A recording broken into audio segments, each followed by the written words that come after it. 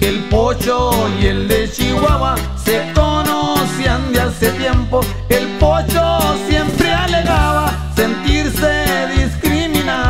y al de Chihuahua forzaban a pasarse de mojado. Un día que se decidieron a pasar un contrabando, sabían que el pocho era gallo y el de Chihuahua otro tanto. Le dijo al pocho cipayo que me tiren al río Bravo.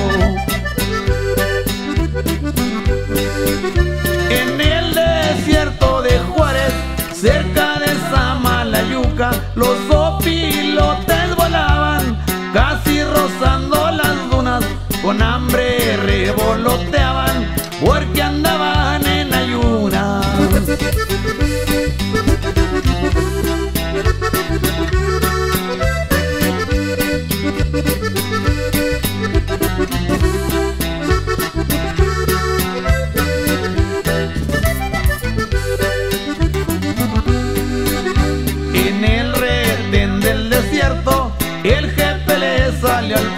Les tengo nuevas de arriba, como este es otro dedazo. Tenemos nuevas tarifas, si les conviene lo hablamos.